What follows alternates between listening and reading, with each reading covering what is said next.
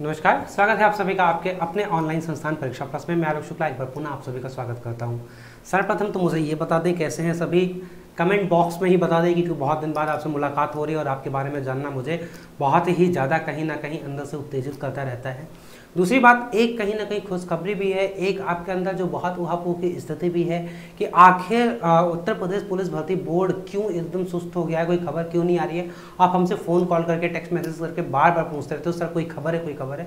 तो अभी दोपहर में भी थोड़ा बहुत आशीष सर ने आपको बताया था, थोड़ी सी भनक लगी थी। आप ये बात बहुत अच्छे से जानते हो कि टीम परीक्षा प्लस तभी कोई वीडियो बनाती है जब उसके पास कोई ना कोई ऐसी इन्फॉर्मेशन होती है तब। तो थोड़ा बहुत हिंट आपको वो दिए थे, तभी वीडियो लेके आए थे और शाम तक आपको ये खबर सुनाई भी दी गई थोड़ी बहुत। तो ये क्या खबर है, इसके लिए मैं आपको थोड़ा सा बताता हूँ। एक चीज़, खबर बस इतने से है कि काम चल रहा है कैसा काम चल रहा है। दो चीज़ें हो रही हैं। एक तो आपका यूपी एसआई, एएसआई की नई भर्ती, जिसके बारे में मैंने पहले भी बताया था आपसे।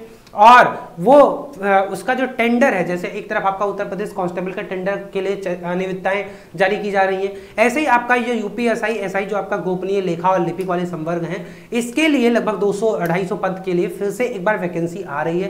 तो जो बार जो बच्चे इससे पहले वाले में चूक गए हैं, उनके लिए बहुत अच्छा मौका है। कॉम्पिटिशन इस बार कम होगा, मैं पहले बता दे रहा हूँ। और वैकेंसी कम है तो कॉम्पिटिशन भी कम होगा। कारण ये है क्योंकि कहीं ना कहीं टॉपर्स बच्चे उसमें तेरह सौ वाले लिस्ट में जाएँगे और आप एक एवरेज बच्चे में जाएगा और जो चूक हुई है, वो आपका पुराना एक्सपीरियंस आपको फिर से मदद यहाँ पे देगा। आप समझिएगा, पिछली बार जितने बच्चे थे, उसमें से मात्र 10 से 20 परसेंट ही बच्चे एक्टिव थे और वो दस बीस ही इस बार आपका क्या रहेंगे? फाइट में रहेंगे तो एक अच्छी अपॉर्चुनिटी इस बार बनेगी।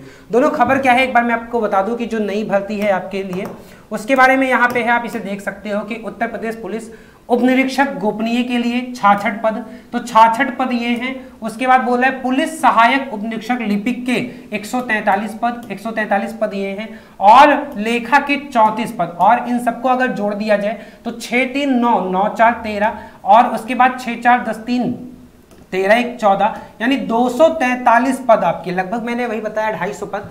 243 पद फिर से आ रहे हैं और ये बढ़ भी सकते हैं, मैं आपको पहले ही बता दे रहा हूँ। ये जितने पद इनमें आए थे आचरण में, उसके बाद भी ये बढ़ सकते हैं, विज्ञप्ति आते आते तक। तो जब फाइनल नोटिफिकेशन आएगा, तब कितने पद होते हैं, इसको आप पहले कंसिडर करके चलेगा मिनिमम आपके दो सौ तैंतालीस पद तो फिर से हाई है। इसके लिए इन्होंने क्या कहा है, उत्तर प्रदेश पुलिस में उन्नीस इतने छाछठ चौंतीस और ये 2021-22 को भरे जाने के लिए ओपन टेंडर के माध्यम से कार्यदायी संस्थाओं को निविदाएँ प्रस्तुत करने हेतु तो आमंत्रित किया गया है। तो उत्तर प्रदेश पुलिस भर्ती बोर्ड, पता नहीं क्या ऐसा सनक सवार हो गया है कि हर बार एजेंसी बदल रही है, क्यों बदल रही है, इसका कारण तो नहीं पता चल रहा है, ऐसा भी होता है। कई बार इनको प्रॉफिट भी होता है एजेंसियों से चेंज करने से। मे भी प्रॉफिटेबल सोच रहे हो, लेकिन मैं इस बात पे तर्क नहीं रखूँगा कि अपने ही प्रॉफिट के लिए चीज़ें कर रहे हैं।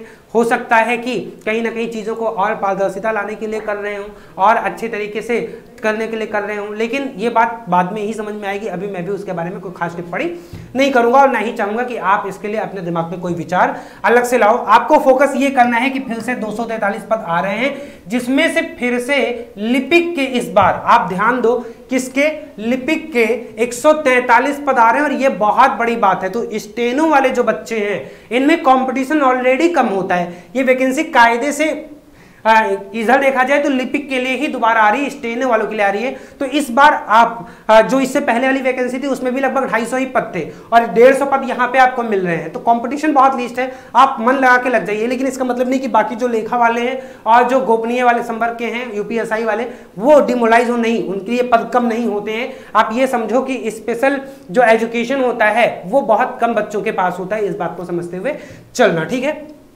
दूसरी चीज़ें क्या है कि अभी जो आपकी इससे पहले पूर्व भर्ती तेरह सौ उनतीस पद के लिए था, उसमें कुछ क्वेश्चंस के आप लोगों ने ऑब्जेक्शंस डाले थे, उस ऑब्जेक्शन को क्या किया है, आयोग ने कर लिया है, और वो क्वेश्चन आपने कहीं ना कहीं अभी आंसर की से गलत कंसीडर कर रहे थे। तो सभी के मार्क्स पाँच से छह नंबर पाँच से छह क्वेश्चन यानी दस से बारह नंबर बढ़ेंगे, और इसका असर एक कट ऑफ़ पे भी पड़ेगा। ध्यान दीजिएगा। तो जो पूर्व में कट ऑफ़ था, अगर देखो, ये वही प्रश्न है, मैं पहले आपको बता दूँ जैसे which among the following states has the highest proportion rural population in India? सभी बच्चा जानता है कि इसका बिहार आंसर था और बच्चा बिहार ही मार के आया था।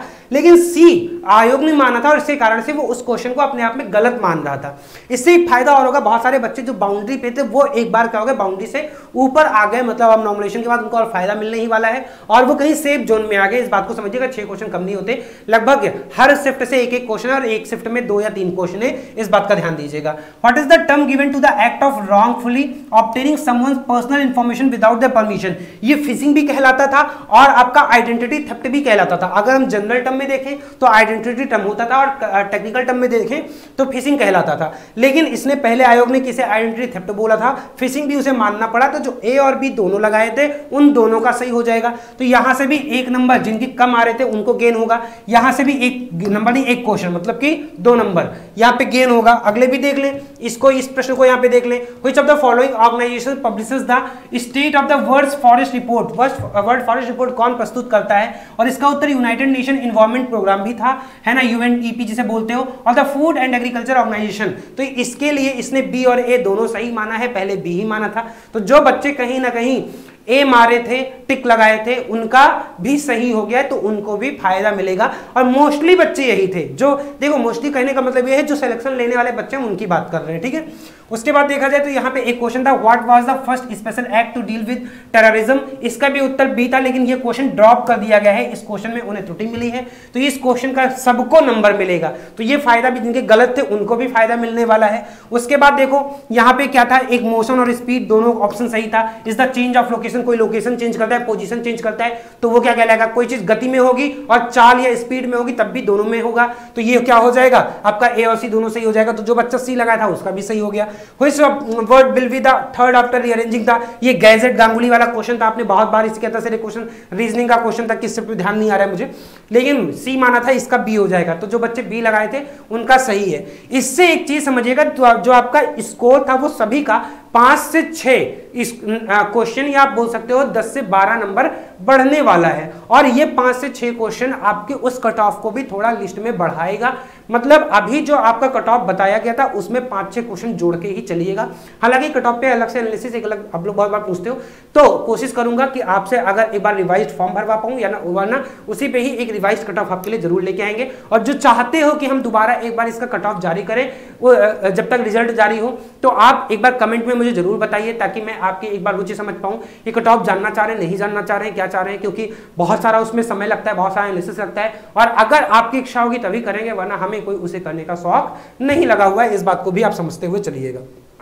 तो ये दो चीज़ें हैं, उम्मीद है ये आपको थोड़े जो इस समय बहुत ज़्यादा परेशान थे, एकदम वेटिंग वेटिंग चल रहा था, करें कि ना करें तो उसमें थोड़ा सा राहत करने वाला है। और ये जो आंसर की समय बढ़ेंगे, वो बहुत ज़्यादा किसी स्टूडेंट पे फ़र्क नहीं पड़ेगा। कट ऑफ़ पे थोड़ा फ़र्क पड़ेगा नंबर में फ़र्क पड़ेगा बट स्टूडेंट के सिलेक्शन उस लिस्ट में नाम आने पर फ़र्क नहीं पड़ेगा। ये बात समझिएगा, वो अपनी जगह पे कांस्टेंट ही रहेगा। थोड़ा बहुत ऊपर नीचे होगा 19 20 होगा तो उसके लिए अभी हम भी समझ नहीं सकते कि किसका कौन सही किया है, कौन गलत किया है, वो तो हम जानकारी नहीं ही प्राप्त है, हमारे पास आंकड़ा उसका नहीं है। तो आप लोग तैयारी करते रहो, नया जो बैच अभी चल भी रहा है यूपीएसआई एसआई का आप साइड में देख भी सकते हो। है ना? एसआई की भी आएगी 800 समथिंग पद पे नागरिक वाले के लिए आएगी और 250 पद के लिए कॉन्फिडेंशियल और मिनिस्ट्रियल के लिए आएगी। तो ये आप देखिएगा, दोनों वैकेंसी मिला के अगर देखा जाए तो हज़ार पद से ज़्यादा है और उसके लिए कॉम्बो बैच निकाला गया है। यूपीएसआई और एसआई दोनों के लिए कॉम्बो बैच निकाला गया है। बारह उसकी फ़ीस है।